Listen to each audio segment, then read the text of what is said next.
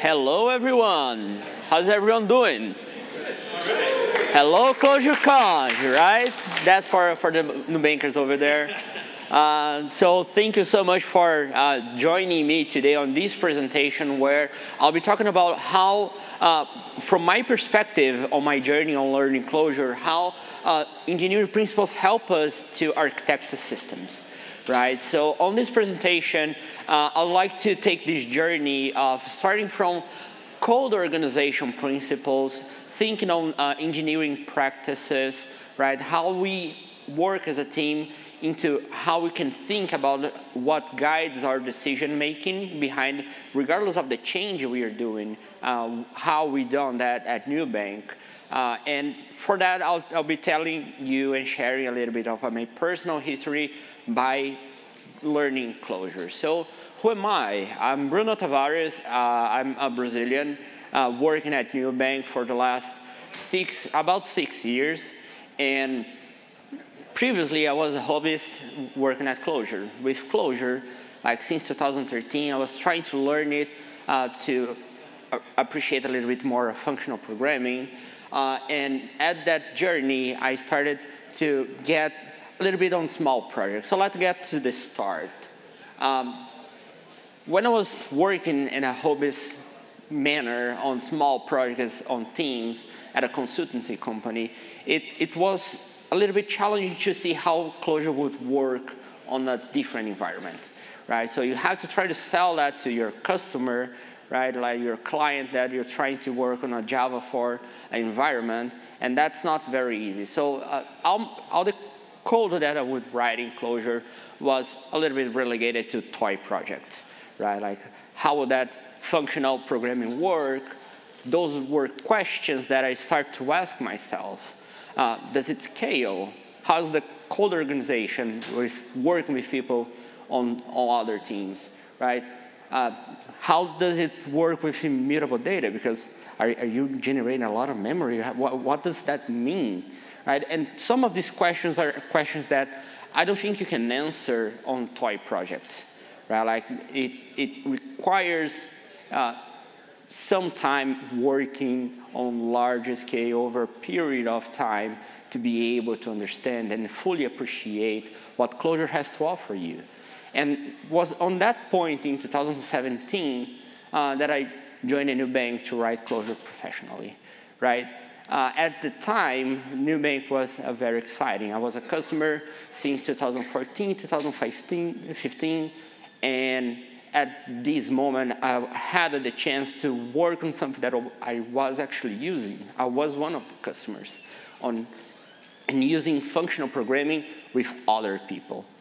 And that to me was uh, really interesting, using microservices, actually being on an environment where you can write tests and people really understand it and really look forward on having good code, right? Um, just to paint a picture here, when I joined a bank, we had one financial service, right? We were still operating with the credit card. We had one country, right? And we were celebrating our first million customer. Pay attention, first million, that, that's exciting, right? For me, it was like, first million customer, that, that that's a lot of customers.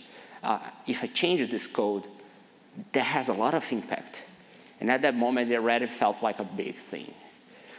And I started trying to understand how to learn to write idiomatic Clojure. It's not something that you you arrive and you know how to do it. Right? Like you're so used to uh, writing uh, oriented, object-oriented code, and it, it's quite challenging to wrap your head around um, functional programming, right? Like you start to get acquainted, and my colleagues, I had a chance that with them, they would provide me the feedback that I needed on how to write code. So let's take a, a deeper look on, what it means to, to write idiomatic Clojure on my perspective. So I would read a lot of code, but when I would write, there's something off, right? Um, why would that not feel idiomatic? Can anybody tell why it would not feel idiomatic? It's a function that takes a key, a model, and a predicate, but it somehow didn't fit the rest of the code base. And it was not clear for me why. And in the end, it was a very simple reason. The order of the arguments was off. So I would start receiving those feedbacks, and people will tell me, functions with model take the model first. Right? That's a very simple phrase that was a feedback from one of my colleagues on, on one of those idioms. And you can see that on the SOSH, which I learned today because I'm the team, the SOC, right? Everything that operates in Clojure on the standard library that takes a model, takes the model first. And that is to compose with each other on, for example, on the thread macro first. If you do it, it fits in nicely, right? Another example I'll take here is functions with collections take collections last. And those are deliberate decisions on how you organize your code. So there's a code organization principles that are applied within the code standard library, and unintentionally we start copying, or, or at least I started copying that on the logic that I would write without really understanding it, but those were feedbacks like people could tell me this phrase and I would understand that I have to adjust my code. So if I change the order of the arguments, now my code feels idiomatic because then I can compose with the rest of the system, right? Everything else will start to fit. I don't need to do, use more let bindings to move arguments around because now the code comes back to some of the principles of Clojure, which is simplicity, right? It's concise code, and it starts to fit within that system. So that was one of the uh, practices that I started adopting. And when we talk about onboarding a Nubank, those are some of the practices that we have on this code organization principle, right? So still looking at this, a lower principle on code, and that will be replicated on other parts as I go on the presentation. So large arguments first, then smaller arguments. So you take like larger system maps, then smaller units, and, and like in the end, you take like digits and, and numbers, right? Using uh, exclamation point to represent side effect. Uh, we already had a, a talk on, this stage, I guess, about hexagonal architecture. So we had those encoded and explicit for newcomers such as I was at the time. And that helped me to understand how I could write code that fits into these idioms. So, so how I would represent, I'm talking about the idiomatic code all the time. So I would say that idiomatic code, it's a code, it's code that fits into the norms of a certain group, right? If you start moving away from these norms and this principle, it will feel uh, strange, right? It will not fit into the rest of the system, and, and reasoning about it starts to become uh, attrition, right? Like it, it, you have a friction to understand that code because it doesn't fit the norm of those groups. So the lesson that I learned by looking at code organization principles is that it's very useful to define them clearly so other people can learn about it as well. Right? So when I was joining, those feedback really helped me. And being able to name and discuss it was something that helped me to feel part of that group and I was learning that. Like I, I, had a lot of pairing sessions, right? So we would be in the office, we, we would be a small squad, we would be all together. But that kind of doesn't scale, right? Like passing that knowledge forward only through pairing sessions, only through uh, saying it doesn't scale because you would have to repeat that a lot of times. And I don't know about you, but kind of get tired of talking, not right now, but I, I do get tired of talking at some point. And we started growing a lot, right? So Nubank um, I'll, I'll, compress this in 2018 forward. Um, we, we had a lot of people to get on board. I had a lot of people that was onboarding as well after I got a little bit more acquainted with our code base. And within that, we have to understand that not everyone's a Clojurist yet, right? It's not as easy to find people that had previous experience with Clojure, but regardless, we grew. There was something magical on, on, on defining those principles on a code organization level that will help a lot of people become the Clojurists that they are now today, right? And a lot of people didn't know about Clojure until they joined the Nubank. And they learned there, working with Clojure and getting those feedbacks similar to how I did. And so let's talk about some practices, moving a little bit on a new level of principles, right? So not only we start talking about code organization principles, but we start uh, talking about also idiomatic practices how you write tests, how you organize your code, how you ship it to production, what do you expect from your system. And if the norms are clear for everyone, right, if you have it clearly defined, this set of expectations of, I expect tests to be part of your job, people will understand, will be able to discuss it, and will be able to learn. So here are a few of the practices that I would consider idiomatic at Nubank. Uh, we had a really solid foundation from the, the get-go, and when I joined, a couple of them already existed. Others I was able to help it grow and nurture it. But from the start, uh, we have microservice architecture, right? Loosely coupled components that allow for parallel and rapid growth of uh, of systems, we had adopted continuous delivery from the beginning, uh, hexagonal architecture, once again, right? And many other philosophies since you build, you run. So that's part of how you get feedback from your customer. So that feeling of a multifunctional team working together. And these are some of these building on top of code organization principles, some practices principles, right? So how do we start organizing the code by working together? And then we start making architecture decisions, looking at a bigger scale from those practices we adopted to uh, looking at how architectures are done, right? Systems, how the systems behave, and what do you expect those systems to do. For example, what's the failure mode of a system? What's the, the process of updating the system? What's the process of uh, what would you expect on these situations? And from architecture decisions, uh, surfaces these patterns and these systems idioms that will help you create more of the systems that will fit together. So um, one of the examples I'll bring two here is our data set expectation. Uh, we already had Gadi early today mentioning that our data set is calculated daily, and this was like one of our first decisions on how we do systems. So every data set is recalculated from origin to ensure consistency.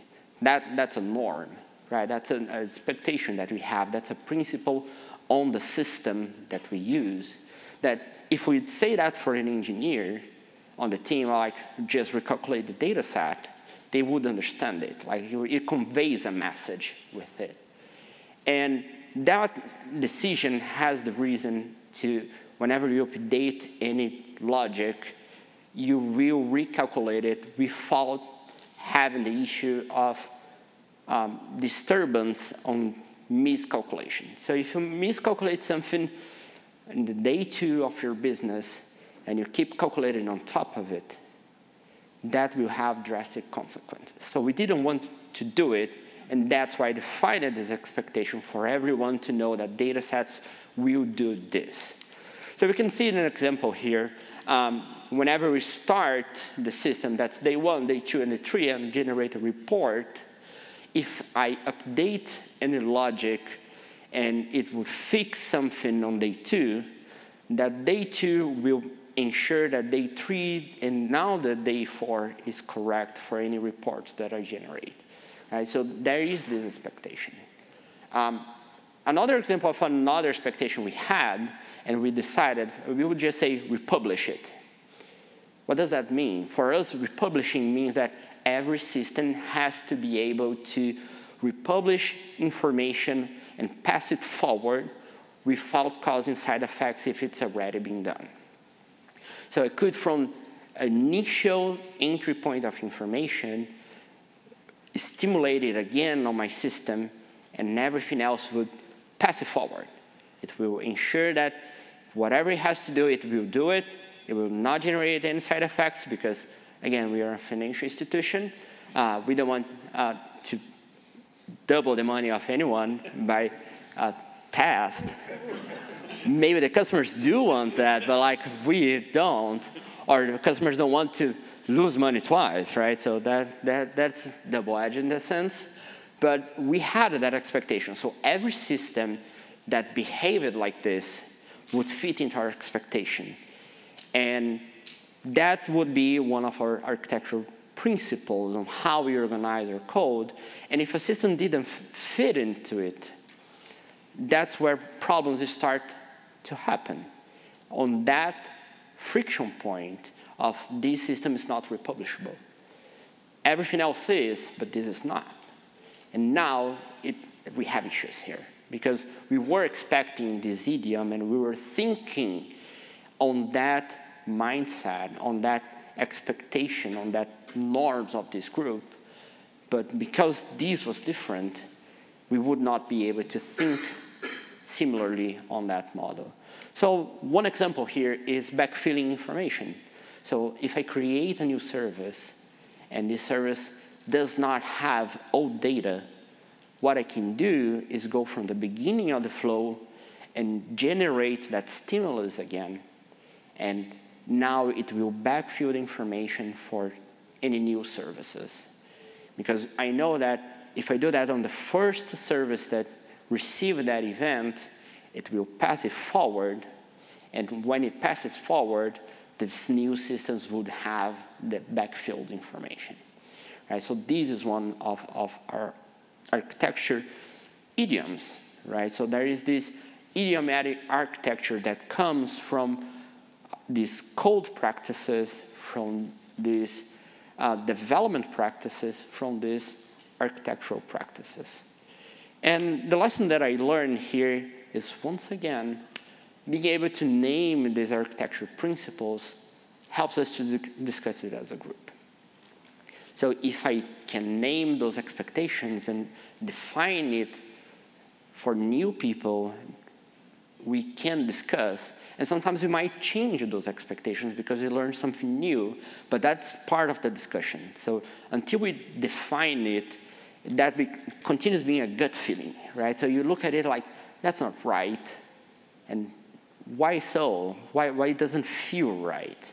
As the example I had on the code, I, I couldn't tell why until someone explained it to me, the code organization principle. So I would like to present some of these ideas of how we can scale this architecture, right? As I mentioned, when I joined, it, we were um, a smaller company. It's still very large for me. It's still something that I was like amazed at, but we grew, right? We had uh, a lot of new services added on. And throughout this decision-making process of scaling, a lot of the premises of what we had changed. Right? Our systems were created with a certain point in time, and that requirement changed. Does it change how we build stuff? It can certainly change what we have, but not how we build. And that starts to, well, let me paint a picture for you to grow quite fast. So we went from one product to 10 and more nowadays. We have now three countries, right? We have more than 50 million customers in 2022. That's much more now, right? And we continue growing. So a lot of the decisions that we made on our system principles there was a reason behind it, and it continues to happen, but the concrete system has to change, and that's normal. Right? That's natural. You start to learn new things. Things that were not so important in the past now become important, or things that were really important in the past now become less important. But there was something behind it. Right? There's, there, there is a principle on how to think about the change itself. And to me, that comes to being our engineering principles. It doesn't matter the result or, or, or, the outcome itself of the code, but there is a way to think that is expected for everyone from code organization to coding practices to systems practices to architecture patterns and to how we approach change. So engineering principles at Nubank was a process that we tried to encode all this information from the beginning because we are already talking about now thousands of engineers working together um, and trying to explain and define as part of these lessons learned of if we define, we can discuss. So we went through this process of collecting a couple of these informations and, and these gut feelings from everyone and try to concisely express it so we as a group can discuss it. And I'd like to present you our engineering principles, right? So uh, at Nubank, when we start thinking about how we build stuff and how we think about creating systems and architectures and, and code organization, it's throughout, right? It applies to every day, it applies to organization, it applies to how we would like to see our systems behave. And that would be like leveraging through platforms so we can continue growing, right? Uh, customer trust is hard to earn and it is to lose. We are a financial company. It's really important that we don't lose trust. Um, data as strategic asset, right? How we look at our data sets, for example, that is, is strategical to our business. Um, ownership and technical resilience, we don't want to crash. And if you crash, we're going to fix it, right? That's what, what it means in the end. It's you build, you run, right? It's yours. And canonical approach is consistently applied, which is we'll make sure that we can experiment, but there is a really big benefit of having consistency. Um, everyone here writes Clojure. Everyone knows that Clojure has a very consistent syntax. Who appreciates the Clojure's consistent syntax? That's really good, right? We also appreciate it. And when we start thinking about how we do it, we do it on code organization. If you look in the service code, the shape of it, even if it differs a little bit, the shape of it, it's very similar everywhere. And that provides us very interesting properties that I'll present a little bit later. I'll give you some examples. But lesson learned here on approaching this exercise is once again defining, explicit defining your engineering principles that you discuss it as a group, right? Maybe yours is not the same as ours, and that's fine. But the important here is that my lesson taken is doing that exercise and sharing that within the company helped us to create more resilient systems, teams, and everything that we do. So I'd like to take a step back and revisit a summary of all these principles from the code and architecture and uh, the engineering principles itself on how we do stuff. Uh, and I'll, I'll, try to summarize it very quickly. Um, loosely coupled architecture, persistent data models, event-driven design. Um, does it feel Clojure to you somehow? I'll, I'll, i know it's a little bit of a, maybe a stretch here, uh, but let me give an example of how I see it, right? So Clojure code with protocols, right? So it's loosely coupled. Uh, we use persistent data models. Clojure has persistent data structures. Event-driven design, event-driven mutability through atoms, right? So you're always doing uh, compare and update. And consistent syntax, right? In the same way that we have consistent code design. I know it's a bit of stretch, but uh, that, that's for me to help to prove my point. Uh, um, and the question that comes to my mind is, did our engineering principles guide our use of Clojure, or did Clojure shape how we think? Right, and that can get very philosophical. I will try not to do it. But it's a very interesting to me. Uh, I'm really fond of this uh, linguistic theory, right, hypothesis that says that uh, the language you use limits how you think, and the way you think limits your language use. So there's a big, deep relationship here uh, that I'll throw a challenge for everyone here. Try to think of a new color. Difficult, right? Maybe you can use compound words to do it and explain it to me and try to convey it. But a really new color, it's a concept, right? You have a name for it. And there are languages that have more names to colors than ours, and they can express that and they can think about those colors in that sense. And they can express it, right? So when you start thinking about how our language model our thoughts that model our language that model our thoughts, it's really hard to say what started first, right? So there is a feedback loop that happens on what you look for in a language as well, what are engineering principles in your values, to what the tool that you use values the most. And there is a special thing that happens when those two align that you start having a really good environment. So I'll try to answer this question. Yes, that's, that's all I can say, right? Because as I mentioned, um, we can start thinking about it from principles first, from the, going from the engineering principles we define to how we do architectures and systems to how we do code organization. We can go top to bottom, but I started the presentation bottom to top, right? So there is a way of going about it that you reason it from first principles, or you can learn about it and realize it's applied all the way down. Right? So it's cyclical in a sense that whenever everything is happening, it's happening at the same time. You're thinking, and when there's this high cohesion, it's a really good environment for creative solutioning. So the lesson learned here for me is that by having all this laid out as written, for example, a way I could look at it, it helped me to gather further insight, right? So it helped me to discuss it with myself. What do I expect from the tools that I use? Um, did, did I join Nubank because the th things that I was looking for were the values that it already had, or did I help it build the values that I would like to see? Right?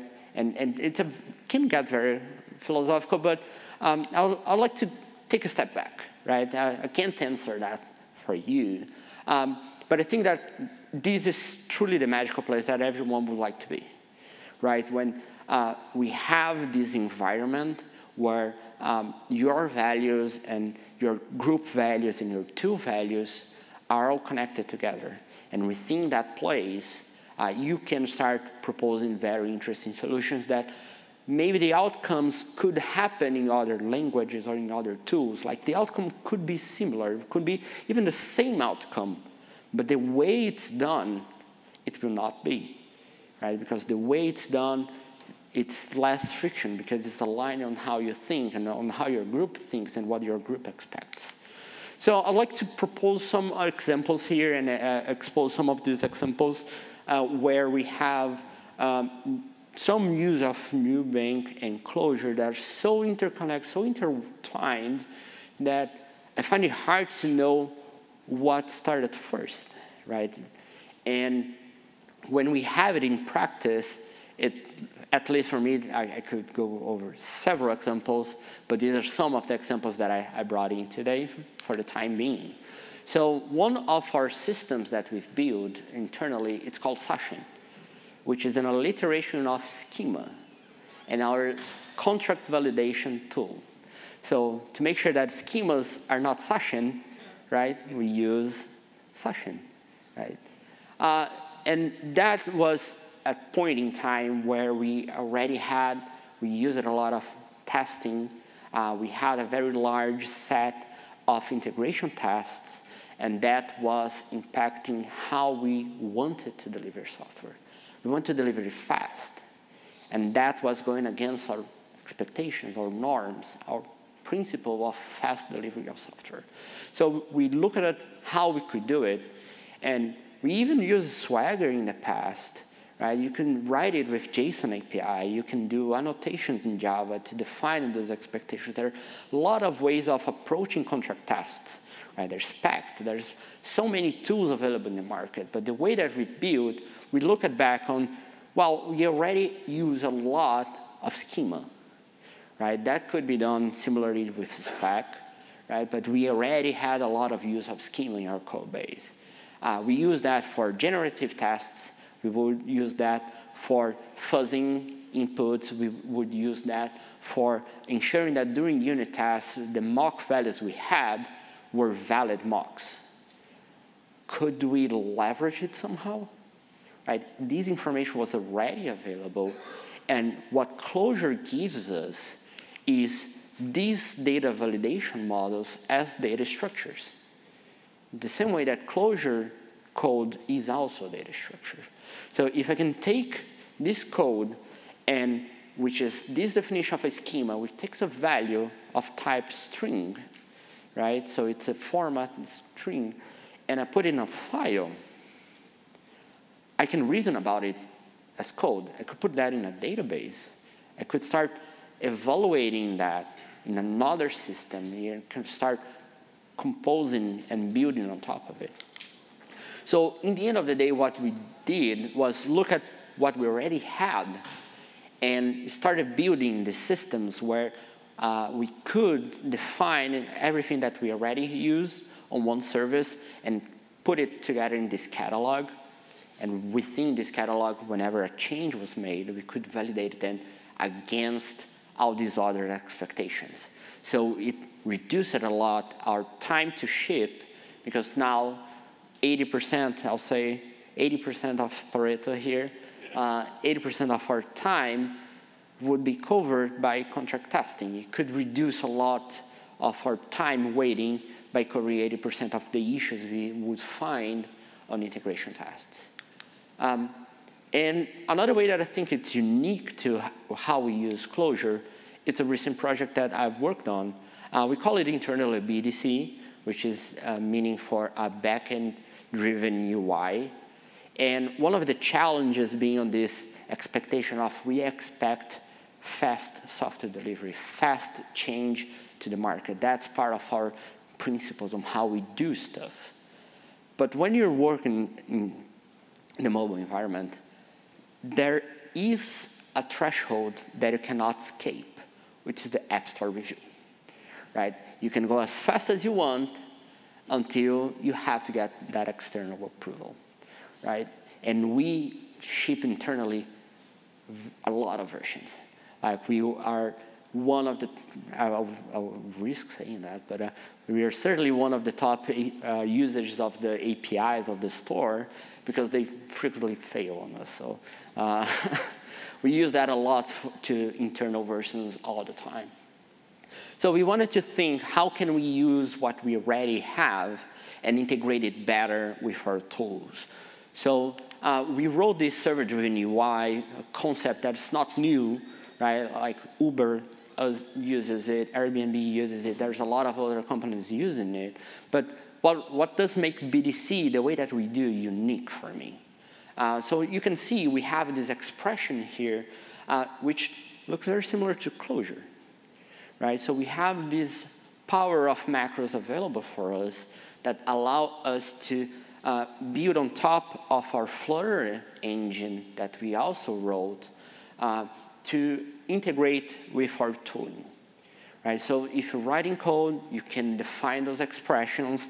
Those expressions have some nice properties of being able to calculate, for example, which is the minimum available version that you have to require based on the expressions you use. Because not every app has the same widgets. Right? You ship it, you add new widgets available, and we can calculate from the expression and pre-compute that as one of our requirements for the screen, so we never let users see broken screens. So BDC is a fully integrated experience. We look at the REPL as inspiration on how can I write uh, the same experience and pass it forward on a new environment. Right? So did, did you think, like did the REPL inspire us or was it something that we already were looking by Flutter auto reload? And, and it's, the thing is, within this environment, when everything's clearly defined and these expectations are set, we can start doing some cool stuff. So here I have a REPL uh, open on my editor on the left side, uh, and you can see that uh, we are writing and evaluating and, and, doing that iteration very quickly uh, on top of our system. And not only that, I already mentioned the consistency usage of, our, of the language and the consistent syntax of Clojure but our code organization allow us to go even further than that because every service has the same shape. Every part of the language, it's very consistent. So I can write automation on top of it. I can use this command that I give you a service name and it will automatically install the SDK and the necessary endpoints by modifying the underlying code of the service and open up a request for you we can only do that because there is consistency. It's consistency applied for every service that we use. It's consistent applied on the tools that we choose, right? And the thing is, when we have this uh, resonating environment where everything is clearly aligned, both in your personal alignment, but your group and the tools, I think that's, that's a magic point that we would like to be. And as an exercise, um, you can try it yourself, right? I think that you can start doing that by going uh, either uh, bottom up or up down, uh, bottom up or you got folks. Uh, and start going on what are the principles of how I organize my code, right? What are the practices that I, I would like to attend, and what, how do I think about change? and try to encode that concretely so you can discuss. Right? That's important because you can realize that it changes over time. You can learn new stuff and change, and that's fine as long as it's clearly defined for everyone. And you can leverage aspects of your systems that fit together on those principles. And whenever you find friction points, it's an invitation to rethink either on your, your expectations and rethink and learn something new, or find a different way to do it that aligns better to what you expect your system to do. And as I mentioned, your principles may differ.